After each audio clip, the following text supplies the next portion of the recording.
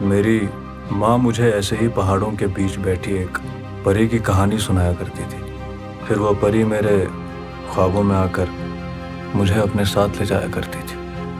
तस्वुर और हकीकत की दुनिया कभी भी एक जैसी नहीं हो सकती।